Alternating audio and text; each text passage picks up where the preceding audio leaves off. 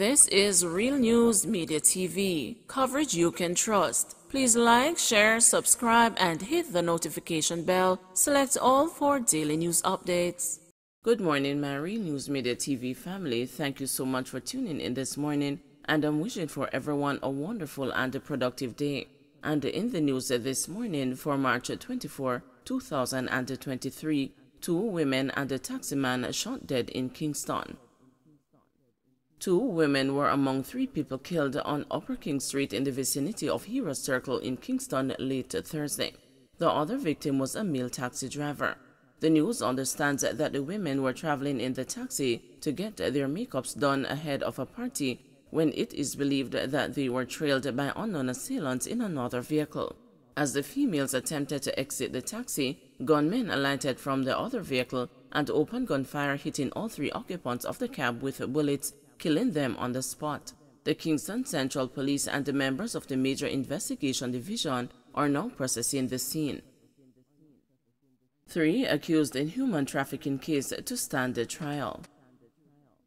The three individuals accused of forcing two females to engage in lewd activities almost four years ago are slated to go on trial in July on charges of human trafficking. Ione Ricketts, 45, of New Ramble Bogue is charged with human trafficking, while Lisa Shea White, 22, of the same address, is charged with facilitating human trafficking. Jerome Murray Ricketts' alleged boyfriend is also charged with facilitating human trafficking.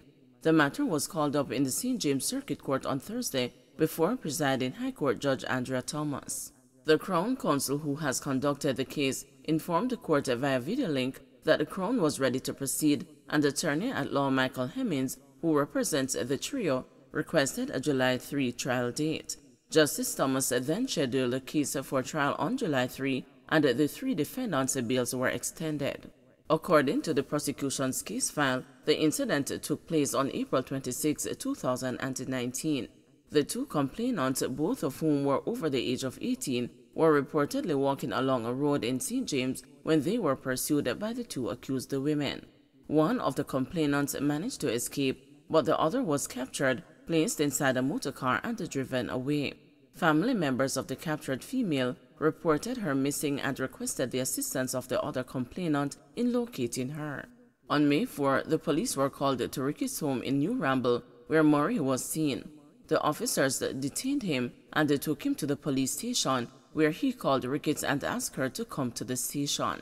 When Ricketts got to the station, she informed the cops that she knew the whereabouts of the complainant who had gone missing. She then contacted White who informed her that she and the missing girl were in Cambridge. White and the missing complainant eventually arrived at the station. The two young females were interviewed at the station and it was discovered that the three accused were exploiting them. The three defendants were arrested and charged. Ambulance badly damaged in Westmoreland crash. The Negril fire station's only ambulance was extensively damaged during an accident on the Mango Hill Main Road in Westmoreland about 6.15 p.m. Thursday. The emergency vehicle was en route to the Savanna-la-Mar Hospital when it collided with a Mitsubishi motor car being driven by a woman.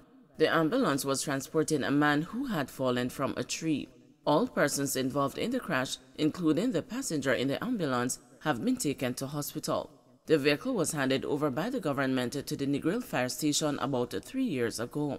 District Officer Ralston Smith said it was a very, very big loss for Negril and the wider Westmoreland as well as Hanover.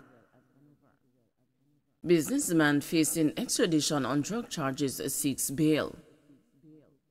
A parish court judge is to rule next Wednesday whether bail will be granted to a St. Andrew businessman who is challenging his extradition to the United States on drug charges. 50-year-old Anthony Daniels is accused of being a major player in a drug trafficking network operating out of Jamaica and the United States. He was arrested last July along with three others who were busted in separate anti-narcotics operations by police and military teams in St. James and St. Andrew. Daniels is wanted in the U.S. on charges of conspiracy to distribute 5 kilograms or more of cocaine and two counts of distribution of 5 kilograms of cocaine or more. Allegations are that between February and December of 2021, U.S. authorities carried out an investigation into a drug trafficking network operating out of Jamaica and Philadelphia, which led to the seizure of a quantity of cocaine at the Philadelphia International Airport.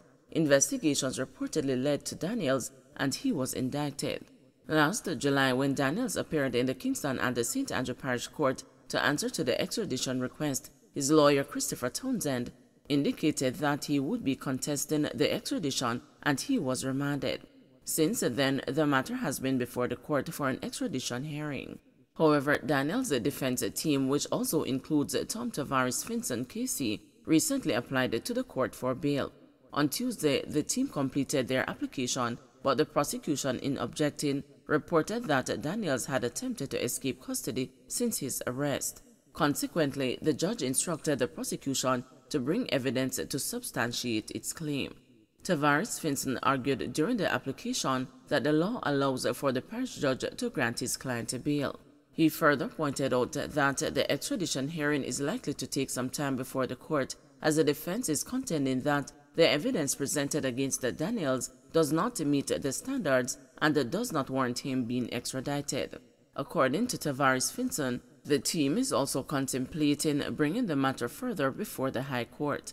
Meanwhile, Tavares Finson said that the idea of granting bail to an individual who is being sought by the U.S. is not a novel and that another client who is similarly wanted in the U.S. was recently granted bail by the court. Portmore stakeholders propose installation of CCTV cameras to help curb crime. There is a call for facial recognition closed-circuit television cameras to be installed in Portmore St. Catherine to support the surveillance in the business community. The call was made during a meeting Thursday involving the police and the business operators. The meeting followed recent attacks on businesses by robbers in Portmore.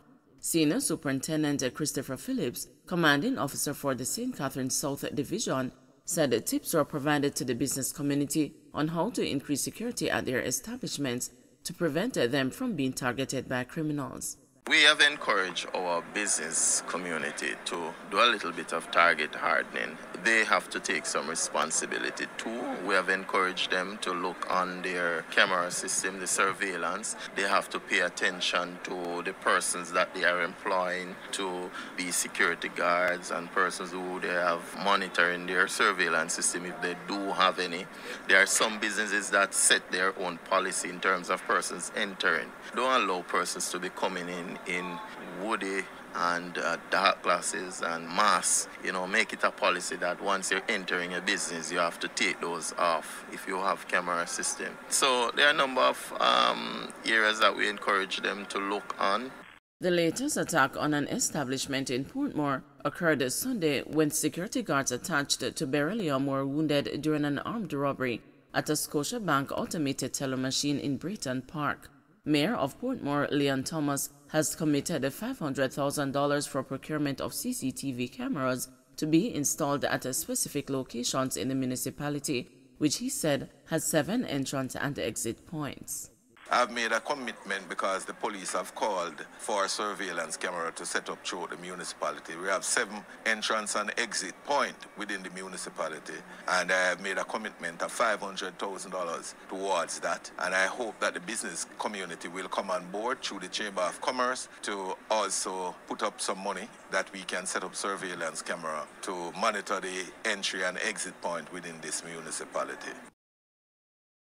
Don't forget to like, share, subscribe, and hit the notification bell. Select all for daily news updates.